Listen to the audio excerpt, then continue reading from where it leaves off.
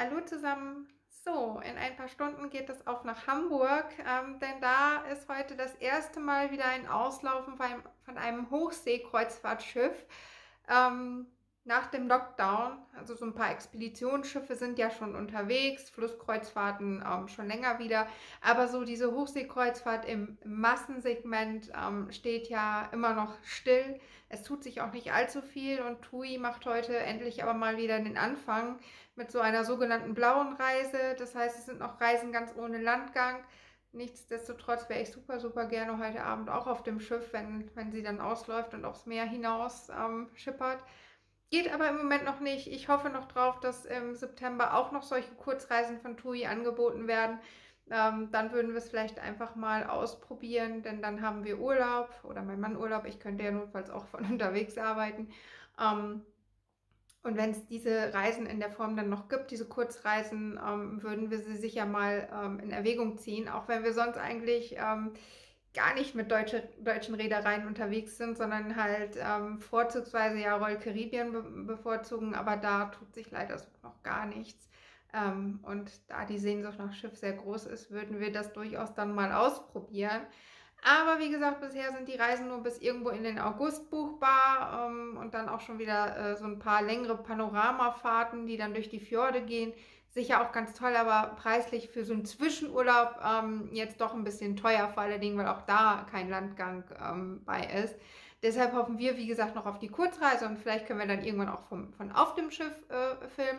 Jetzt nehmen wir euch erstmal mit ähm, nach Hamburg und werden dann einfach von außen ähm, dem Schiff winken und allen eine gute Reise, einen guten Neustart halt ähm, nach diesem Corona-Lockdown äh, wünschen. Ja, und ich bin schon ganz gespannt und glaube auch, dass es für mich heute Abend ziemlich emotional werden wird. Wir werden sehen.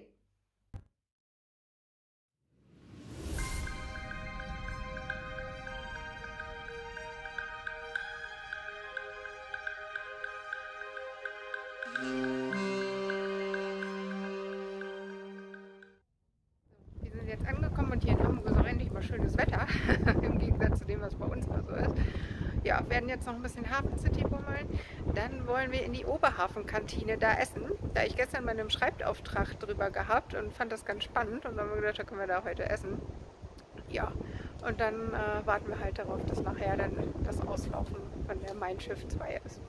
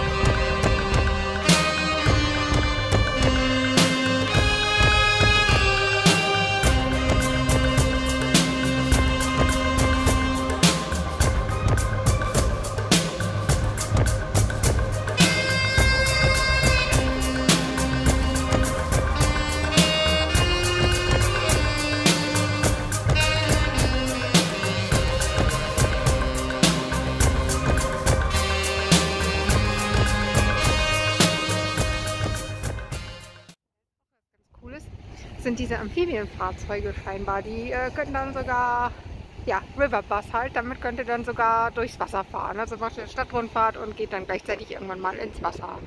So, und jetzt haben wir auch die Oberhafenkantine gefunden, was ich vorhin erzählt habe, wo ich schauen wollte, weil ich da ja gestern den Textauftrag zu ähm, geschrieben habe.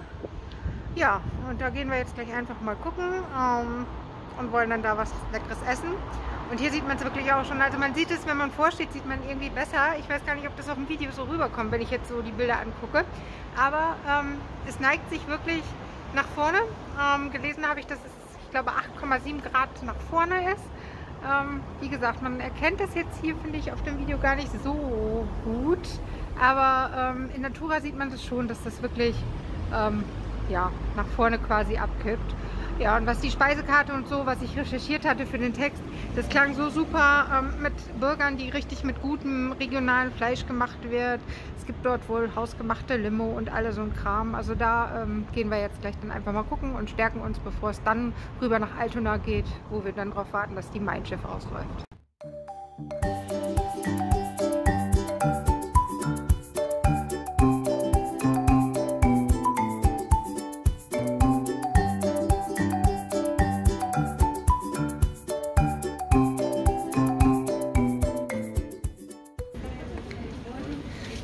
Jetzt haben wir hier auch noch einen Tisch hinbekommen. Ist eigentlich alles relativ voll, aber die sind auch voll nett hier und ja, jetzt können wir uns hier noch ein bisschen hinsetzen, haben noch ein bisschen Zeit, bis die nächsten kommen, wo das reserviert ist. So, und jetzt testen wir mal, wie das so alles schmeckt. Aber es sieht auf jeden Fall ganz witzig aus, wenn man es hier sieht. Ja, drinnen kann ich jetzt dann leider nicht so filmen, aber ihr könnt es dann auch nochmal googeln. Ja, und wie man hier sieht, die haben auch wirklich viele so frische Sachen und so. Das steht auch bei denen auf der Homepage. Und ich werde mir gleich eine schöne hausgemachte Limonade bestellen, die auf jeden Fall. Essen muss ich nochmal gucken. Ecki ist da gerade bei der Welt schon. Aber das ist dann auch so Hamburger Roast Beef. Ja, und das ist alles mit so einem, ähm, die Brote und sowas werden auch hier selber gebacken. Das habe ich schon gelesen auf der Homepage. Das ist voll cool. So, da ist jetzt schon die Limo. Ich probiere das direkt mal hier.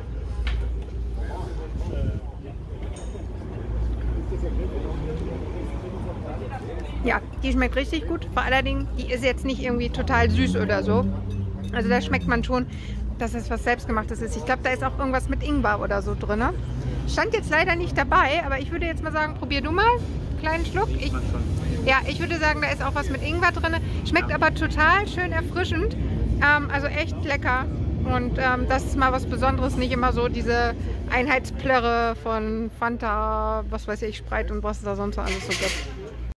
So, das sieht doch mal richtig, richtig lecker aus. Also ich habe hier jetzt was, was überhaupt nicht in meinen Kalorienplan passt, aber das ist für heute dann mal egal. Ähm, Cheeseburger. Ähm, ich hatte so einen normalen Hamburger und dann ist da irgendwie was mit rote Beete oder so. Rote Beete Spaghetti, was auch immer. Ich selber mag keine rote Beete, deshalb habe ich mich an den nicht rangetraut. Aber dieser hier sieht mega aus und jetzt werde ich erstmal probieren und euch später erzählen, wie es geschmeckt hat.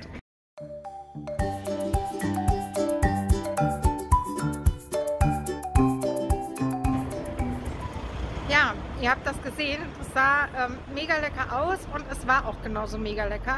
Also Burger, richtig gutes Fleisch, ähm, total leckeres Dressing über dem Salat, ähm, diese ähm, Röstkartoffeln total lecker. Also eigentlich, ähm, ja, Limo sowieso, hatte ich ja vorher schon gesagt. Also das ähm, kann ich wirklich nur weiterempfehlen man merkt auch, dass die wirklich leckere Zutaten oder frische Zutaten alles verwenden. Der Burger war top, schmeckt halt anders als sie jetzt, ähm, ich sag mal in Amerika, wenn wir da einen Burger gegessen haben, der hat einfach noch einen anderen Geschmack. Ähm, dieser war auch so ein bisschen, dann war da noch Rucola drauf und so, also die Geschmacksrichtung etwas anders, aber wirklich absolut top.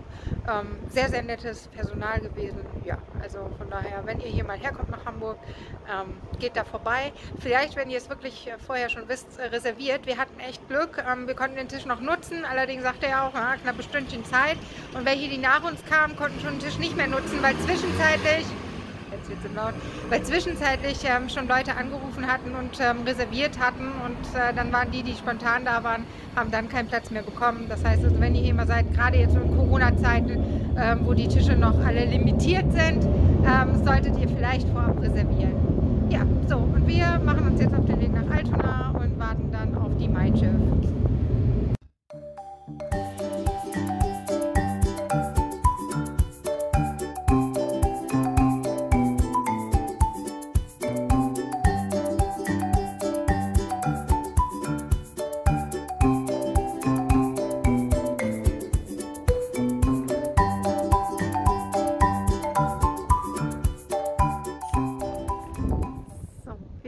Angekommen, äh, Hamburg-Altena und hinter uns liegt die Aida Perla, die läuft ja heute noch nicht aus, das dauert noch ein bisschen. Ähm, ja und jetzt suchen wir uns mal ein feines Plätzchen, von wo aus wir dann später das Auslaufen der Mein Schiff 2 ähm, gut beobachten können. Ich habe vorhin schon auf Facebook von so einer Seite, der wir da auch folgen, ähm, erste Bilder vom Pooldeck gesehen von jemandem, der mitfährt. Ja, war schon sehr, sehr neidisch. Ich würde am liebsten auch ja, mal schauen, ob die im September halt noch Reisen anbieten und dass wir dann da mit können. Aber es ist schön, ähm, jetzt auch mal wieder Schiffe zu sehen, von denen man weiß, dass sie bald wieder mit Passagieren fahren. Die Perla ja auch. Äh, ja, und jetzt schauen wir mal, wo wir ähm, ein schönes Plätzchen finden. Ja, da hinten sieht man sie jetzt schon mehr oder weniger liegen. Ähm, es dauert ja jetzt auch noch eine ganze Weile. Nur noch ähm, gut zweieinhalb Stunden, nicht mehr ganz, bis es dann überhaupt losgeht. Aber von hier haben wir auch echt eine schöne Sicht auf die Perla. Das müssen wir wieder ein bisschen zurück, damit man sie auch nochmal ganz sieht. Ja, eigentlich ist es hier schön. Man kann hier vernünftig gucken. So, vielleicht gehen wir auch naja, ganz nach oben. Schauen wir mal jetzt. Vielleicht. Sicher. Okay, sicher. Sport, Sport, Sport. Ja, aber zum Schauen meine ich jetzt. Dann müssen wir mal gucken, ob wir nicht hier dann besser stehen, ist man näher dran oder ob man nach oben geht. Ja, wir gucken uns das gleich mal an.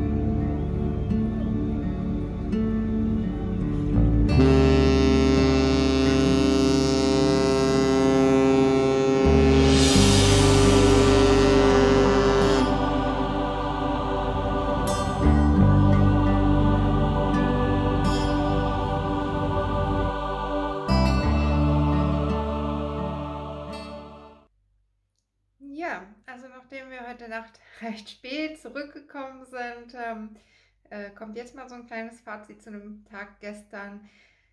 Ja, es war zum Schluss wirklich für mich ähm, hoch emotional, weil ich bin einfach ähm, so ein Kreuzfahrtliebhaber und ich habe diese Sorge, wie geht's weiter? Geht's für alle weiter? Geht's auch für unsere Lieblingsreederei dann irgendwann mal weiter? Weil sag mal so, aus dem amerikanischen Markt hört man nicht so wirklich was. Ähm, außer dass eben diese No-Sale-Order nochmal verlängert wurde, teils auf freiwilliger Basis wohl auch, wie auch immer.